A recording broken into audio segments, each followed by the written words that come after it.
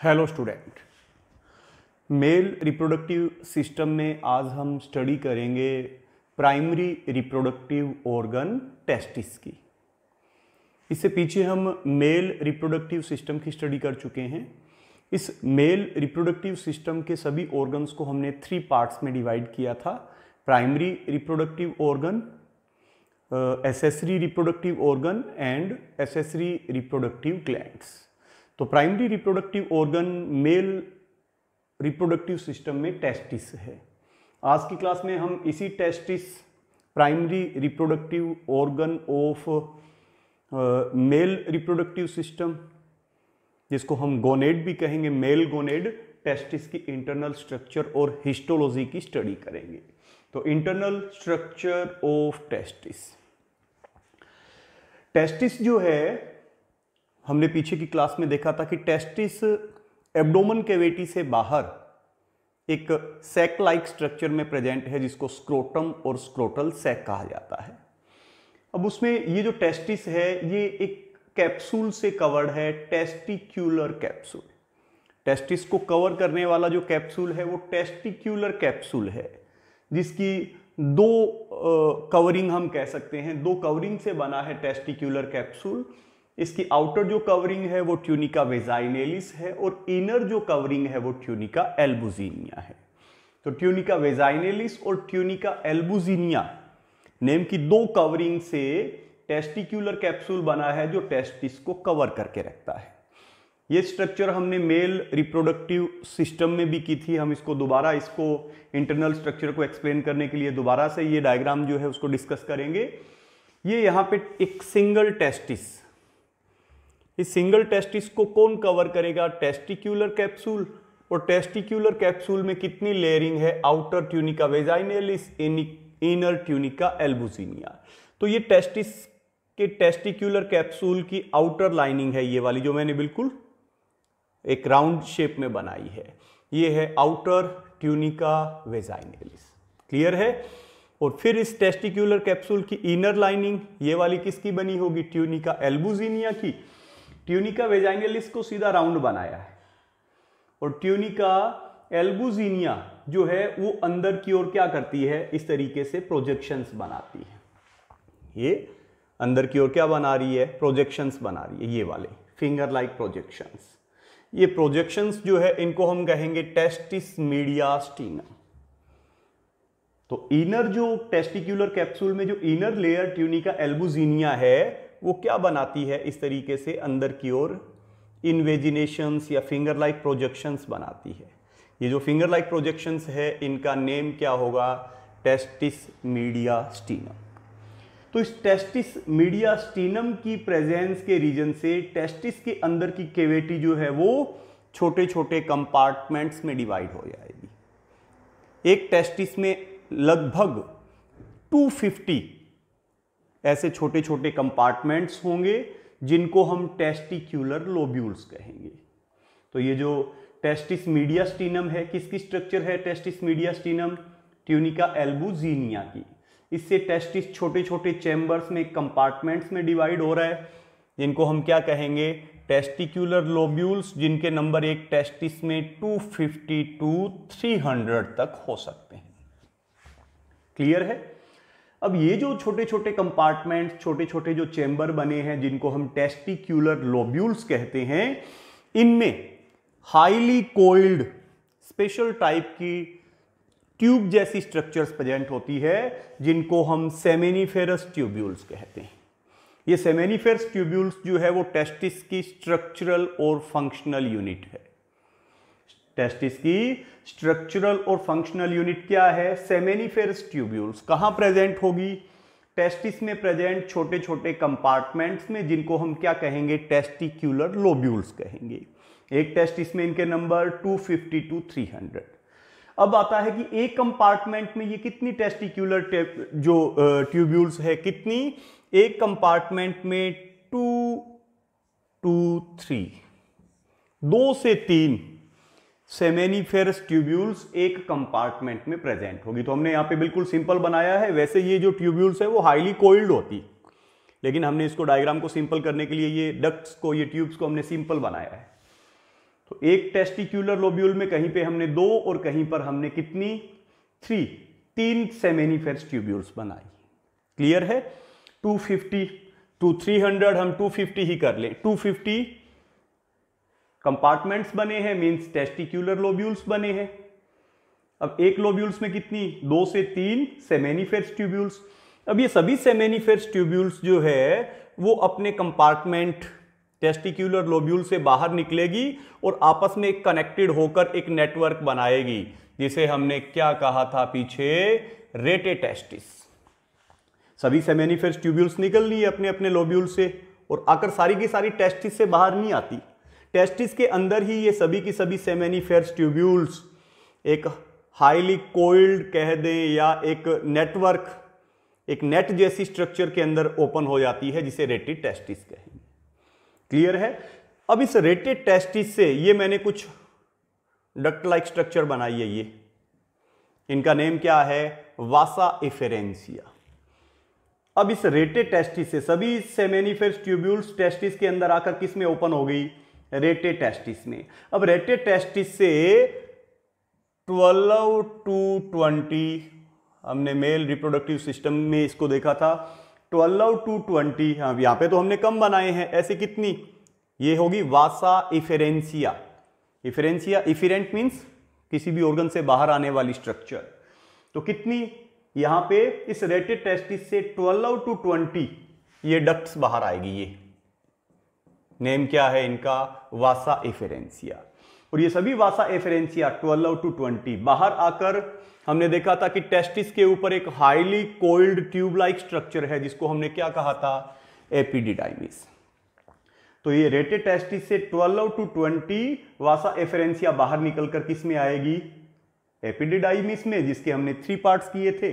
और एपिडिडाइमिस की ये नीचे का पार्ट कोडा ऑफ़ एपिडिडाइमिस। यहाँ से एक डक्ट बाहर निकलेगी जिसे वास डिफरेंस यानी स्पर्म डक्ट कहेंगे। क्लियर है? तो इस तरीके से ये स्ट्रक्चर हमने मेल रिप्रोडक्टिव सिस्टम में की थी। अभी हम इसमें टेस्टिस की इंटरनल स्ट्रक्चर के लिए हमने इसको इस तरीके से डायग्राम की हेल्प से इसको हम एक्सप्लेन करेंगे। तो टेस्टिस कवर्ड है टेस्टिक्यूलर कैप्स्यूल से, जिसका आउटर ट्यूनिका वेजाइनेलिस और inner tunica albuginea tunica albuginea अंदर की ओर इन्वेजिनेशन बना रहा है। कौन सा टेस्टिस मीडियास्टिनम जिससे टेस्टिस छोटे छोटे कंपार्टमेंट्स में डिवाइड है, जिन्हें टेस्टिक्यूलर लोब्यूल कहेंगे। इन लोब्यूल में क्या होगी? इनमें टेस्टिस की स्ट्रक्चरल और फंक्शनल यूनिट सेमेनिफेरस ट्यूब्यूल होगी। एक टेस्टिक्यूलर लोब्यूल में दो से तीन सेमेनिफेरस ट्यूब्यूल होगी। ये सभी सेमेनिफेरस ट्यूब्यूल टेस्टिस के अंदर आकर रेटे टेस्टिस में ओपन होगी। रेटे टेस्टिस से 12 टू 20 वासा इफेरेंसिया निकलकर बाहर किसमें आएगी? एपिडिडाइमिस में और एपिडिडाइमिस के जो नीचे का पार्ट है, कोडा एपिडिडाइमिस, वहाँ से एक ही डक्ट बाहर निकलेगी, वास डिफरेंस स्पर्म डक्ट जिसे कहते हैं। क्लियर है? तो ये टेस्टिस की जो स्ट्रक्चरल और फंक्शनल यूनिट है, सेमेनिफेरस ट्यूब्यूल। एक टेस्टिक्यूलर लोब्यूल में दो से तीन के नंबर्स में ये प्रेजेंट होती है। अब हम इस सेमेनिफेरस ट्यूब्यूल्स की स्ट्रक्चर की स्टडी करेंगे। इसके लिए इन सेमेनिफेरस ट्यूब्यूल्स की हम कौन सी सेक्शन करेंगे? Transverse section. तो ये है figure transverse section of seminiferous tubules ये जो सेमेनिफेरस ट्यूब्यूल है ना, इनकी हम ट्रांसफ़र सेक्शन कट करेंगे। तो इनकी ट्रांसफ़र सेक्शन में ये सेमेनिफेरस ट्यूब्यूल्स कैसी दिखती है? सेमेनिफेरस ट्यूब्यूल्स के बीच, ये सेमेनिफेरस ट्यूब्यूल्स है, इनके बीच में कौन सा टिश्यू होगा? इनके बीच में कनेक्टिव टिश्यू होगा। इंटरस्टिशियल टिश्यू होगा। तो किस तरीके से हम एक ट्रांसफ़र सेक्शन कट करें? एक हम कहें कि टेस्टिक्यूलर लोब्यूल में प्रेजेंट सेमेनिफेरस ट्यूब्यूल की। तो ये हमने ट्रांसफ़र सेक्शन कट की है seminiferous tubule structural and functional unit of testis. तो हमने एक सेमेनिफेरस ट्यूब्यूल्स को कंप्लीट शो किया है और ये अदर जो सेमेनिफेरस ट्यूब्यूल्स है, उनको हमने कंप्लीट शो नहीं किया है, क्योंकि एक सेमेनिफेरस ट्यूब्यूल से हम इसकी स्ट्रक्चर को एक्सप्लेन करेंगे। तो ये सेमेनिफेरस ट्यूब्यूल है, ये। इनमें से एक को हमने कंप्लीट बनाया है। सेमेनिफेरस ट्यूब्यूल के बीच इन सेमेनिफेरस ट्यूब्यूल्स के बीच ये जो स्पेस है ये, इन सेमेनिफेरस ट्यूब्यूल्स के बीच में ये जो स्पेस है, इस स्पेस में ब्लड वेसल्स भी प्रेजेंट है। यहाँ पे एक टिश्यू होगा, कनेक्टिव टिश्यू, इंटरस्टिशियल टिश्यू कह सकते हैं उसे। उसमें ब्लड वेसल्स भी प्रेजेंट है और इंटरस्टिशियल टिश्यू है तो इस इंटरस्टिशियल टिश्यू में मीन्स कनेक्टिव टिश्यू में ये मैंने रेड कलर के अंदर बनाई है, स्पेशल टाइप की सेल्स भी है, जिनको हम क्या कहेंगे, इंटरस्टीशियल सेल्स या इन्हें लेडिग सेल्स भी कहते हैं। तो पहले हम स्ट्रक्चर की स्टडी करें सेमेनिफेस ट्यूब्यूल सेमेनिफेस ट्यूब्यूल्स जो है, इसमें ये वाली जो आउटर मैंने लाइनिंग बनाई है, ये बेसमेंट मेम्ब्रेन है. हमने पीछे एपिथेलियल टिश्यू किया था बेसमेंट मेम्ब्रेन और उस पर एपिथेलियल सेल्स लगी है. तो ये यहाँ पे क्या है? इसमें ये जो आउटर लाइनिंग है, ये वाली ये वाली क्या है? बेसमेंट मेम्ब्रेन और बेसमेंट मेम्ब्रेन पर ये जो सेल्स की सिंगल लेयर ये वाली जो बेसमेंट मेम्ब्रेन पे लगी है, इसे हम कहते हैं जर्मिनल एपिथीलियम ऐसी एपिथीलियम जो जर्मिनल मींस रिप्रोडक्टिव या जर्म ऑर्गन्स में प्रेजेंट है, उसको हम जर्मिनल एपिथीलियम कहेंगे। तो सेमेनिफेस ट्यूब्यूल की ये वाली मेम्ब्रेन जो सेमेनिफेस ट्यूब्यूल की बाहर की कवरिंग मैंने बनाई है, वो बेसमेंट मेम्ब्रेन है, और इस पर लगी हुई ये वाली जो एपिथीलियम है, ये वाली इस एपिथीलियम को हम जर्मिनल एपिथीलियम कहेंगे। अब इस जर्मिनल एपिथीलियम में टू टाइप की सेल्स है। ये सभी इस बेसमेंट मेम्ब्रेन पे लगी हुई ये जो सेल्स की जो सिंगल लाइनिंग है ना, वो जर्मिनल एपिथीलियम है। आप देख सकते हैं इस जर्मिनल एपिथीलियम में टू टाइप की सेल्स है। ज़्यादा नंबर्स में तो ये वाली सेल्स है, ये वाली, ये छोटी छोटी सेल्स जिनको हम क्या कहेंगे? मेल जर्म सेल या हम इसे कह सकते हैं स्पर्मेटोगोनिया मेल जर्म सेल और स्पर्मेटोगोनिया और बीच बीच में आप कॉलम शेप की कॉलुमनर बड़ी सेल्स भी देख सकते हैं, जो नंबर्स में काफ़ी कम है। किसके कंपेरेटिवली इन स्पर्मेटोगोनिया या मेल जर्म सेल के कंपेरेटिवली नंबर्स में कम और लार्ज साइज़ की कोलुमनर सेल्स भी आप देख सकते हैं, जिनको हम कहते हैं सर्टोली सेल्स क्या कहेंगे? सर्टोली सेल्स जो स्पोर्टिंग सेल्स है, इन्हें हम नर्स सेल्स भी कह सकते हैं। अभी इनके फ़ंक्शन क्या होगा? ये जो जर्मिनल एपिथीलियम में ये वाली जो सेल्स है, जिनको हम स्पर्मेटोगोनिया या मेल जर्म सेल कहेंगे, ये मियोसिस या मियोटिक डिवीज़न से मेल गेमिट स्पर्म्स का फॉर्मेशन करेगी। ठीक है? तो ये इस मेल जर्म सेल और स्पर्मेटोगोनिया से हमने फिर अंदर कई सेल्स बना रखी है। और ये फिर हमने यहाँ पे flagellated male sperm male gamete यानी स्पर्म भी बना रखे हैं। तो ये क्या होगा कि स्पर्मेटोगोनिया और मेल जर्म सेल से प्राइमरी स्पर्मेटोसाइट सेकेंडरी स्पर्मेटोसाइट फिर स्पर्मेटोजोआ मीन स्पर्म्स बनेंगे। तो ये अलग अलग स्टेजेस के यहाँ पर हैप्लोइड सेल्स जो है वो गेमिट फॉर्मेशन में शो की गई है। और ये वाली जो फ्लेजिलेटेड स्ट्रक्चर देख रहे हैं, वो यहाँ पे spermatozoa means male gamete means क्या है? स्पर्म है। तो इसका जर्मिनल एपिथीलियम में ये वाली जो सेल है, क्या कहेंगे जिनको स्पर्मेटोगोनिया और मेल जर्म सेल इनका फ़ंक्शन है ये मियोसिस से मेल गेमिट स्पर्म और स्पर्मेटोजोआ को बनाती है। अब इसी जर्मिनल एपिथीलियम में ये जो बड़ी सेल्स है, जिनको हम कहेंगे सर्टोली सेल्स स्पोर्टिंग सेल्स या नर्स सेल्स इनका क्या फ़ंक्शन है? ये सर्टोली सेल्स जो है, इनके कुछ फ़ंक्शंस आप देखें protection nutrition and support to developing germ cell ये जो डेवलपिंग जर्म सेल्स है ना, या स्पर्मेटोगोनिया से ये जो स्पर्म्स बन रहे हैं, इनको स्पोर्ट प्रोवाइड करेगा, इनको न्यूट्रिशन प्रोवाइड करेगा, इनको प्रोटेक्शन प्रोवाइड करने का फ़ंक्शन किसका है? सर्टोली सेल्स का है, इसीलिए हम इन्हें नर्स सेल भी कहते हैं। फिर ये सर्टोलिक सेल्स जो है, वो एक हार्मोन्स भी रिलीज़ करेगी इनहिबिन हार्मोन कौन सा हार्मोन इनहिबिन हार्मोन जो फोलिकल स्टिमुलेटिंग हार्मोन को कंट्रोल करता है। ये Sertoli cells anti Mullerian hormone भी रिलीज़ करता है। कौन सा हार्मोन? Anti Mullerian hormone. जो मेल एम्ब्रियो में फीमेल रिप्रोडक्टिव डक्ट्स की डेवलपमेंट को इनहिबिट करता है, रोक देता है। A B H androgen binding protein भी रिलीज़ करता है। मींस ऐसा प्रोटीन जो androgen androgen male hormone, human being में एंड्रोजन टेस्टोस्टिरोन है। तो एंड्रोजन बाइंडिंग प्रोटीन एक ऐसा प्रोटीन रिलीज़ करता है जो एंड्रोजन मींस टेस्टोस्टिरोन को बाइंड करता है। मींस क्या है कि ये टेस्टिस में टेस्टोस्टिरोन नेम का जो एंड्रोजन है, उसकी हायर कंसंट्रेशन को मेंटेन रखता है, जो स्पर्म फॉर्मेशन मीन स्पर्मेटोजेनेसिस के प्रोसेस के लिए एसेंशियल है। तो ये कुछ फ़ंक्शंस है इस जर्मिनल एपिथीलियम में प्रेजेंट सेल्स के सर्टोली सेल्स के नर्स सेल्स के। न्यूट्रिशन भी प्रोवाइड करेगा और स्पर्मेटो गोनिया या मेल जर्म सेल से स्पर्मेटोजेनेसिस प्रोसेस के थ्रू जो स्पर्म्स बनेंगे, वो भी अपनी अर्ली स्टेज में अपने हेड की हेल्प से किसके अंदर सस्पेंडेड रहते हैं? सर्टोली सेल्स में सस्पेंडेड रहते हैं। क्लियर है? ये सेमेनिफेस ट्यूब्यूल है। इसमें स्पर्मेटोगोनिया स्पर्म्स बनाएगी और ये सर्टोली सेल्स उन्हें न्यूट्रिशन, सपोर्ट, प्रोटेक्शन प्रोवाइड करेगी। अब इन सेमेनिफेस ट्यूब्यूल के बीच का टिश्यू कौन सा कनेक्टिव टिश्यू इंटरस्टिशियल टिश्यू इसमें ये वाली सेल्स कौन सी है? इसमें ब्लड वेसल्स भी होगी, ये सेल्स कौन सी?